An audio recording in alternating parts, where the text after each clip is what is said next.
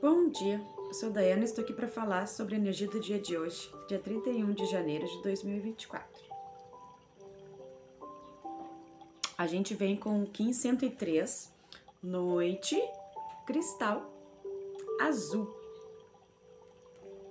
Então, o tom cristal é o 12 dia da nossa onda encantada do humano amarelo, né?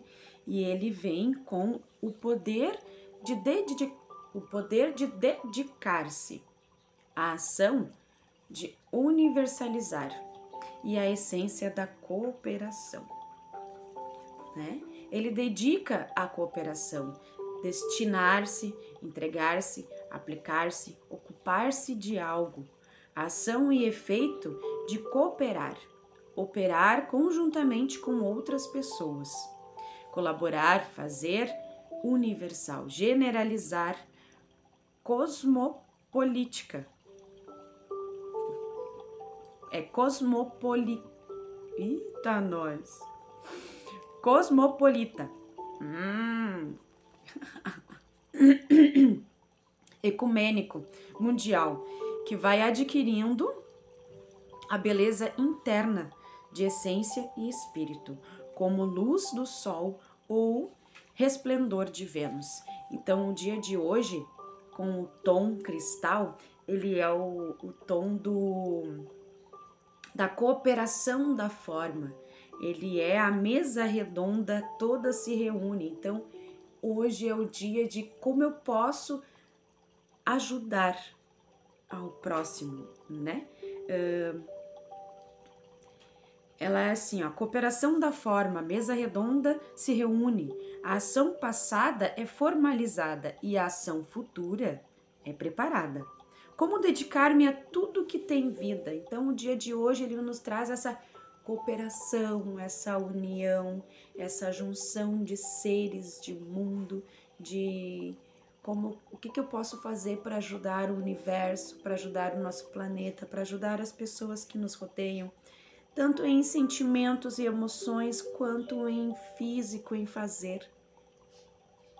Hoje é o dia dessa mesa redonda, né, do Rei Arthur, onde todo mundo se reúne e todo mundo se visualiza, todo mundo se enxerga.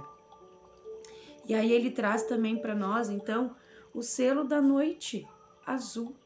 E o selo da noite azul, ela tem o poder da abundância, a ação de sonhar, e a essência da intuição. Então, assim, como poder então ajudar, cooperar com o próximo, com o planeta, trazendo esses sonhos à tona, os sonhos que muitas vezes a gente tem de tipo, ah, e se, e se isso fosse assim para poder melhorar tal situação, para poder melhorar tal função, por, por que não tornar concreto? esses sonhos que possam ajudar a muitos. Ele nos traz a introspecção, o olhar para dentro de si e buscar lá dentro, na sua intuição, aquilo que é necessário para seguir em frente. Então ela, uh, ele é um sonhador consciente, um vigiante do interior um viajante do interior. Ele é um discípulo da sua própria intuição, convidando a todos nós a celebrarmos como herdeiros da abundância da natureza. Porque a, o poder da abundância que fala da noite azul não é aquele bem material, é a abundância da nossa própria, da própria natureza que ela é abundante em todos os sentidos. Então é essa abundância que a noite azul nos traz.